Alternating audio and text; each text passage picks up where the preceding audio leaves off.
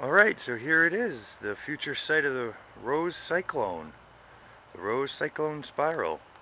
So we have a shovel over here. We've got a little knee pad. That's the area that I'm working. A little hand trowel, my hand uh, tiller, and the, uh, the tomato cage. So I worked this area before, you know, you know, you just turn, turn and just work it and work it, work it. But I did that already. So then, you know, you get in there with your hand and you pull out little weeds and stuff and you just kind of work it and any debris and you just kind of work the area to make sure it's nice and fine. And anytime you see a weed or any roots or anything, I just throw it right on the grass because that'll grow. And then I work that.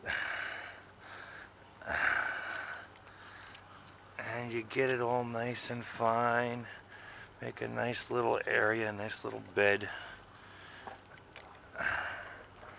okay looking good now we're gonna you know get ready to add some soil and mend this up because this is it's not bad but uh, you can kind of see it's it's just uh, it's not black. It's a little more brown and sandy and loamy, which is good for roses, which is what we want. But we do want a nice black organic soil in here.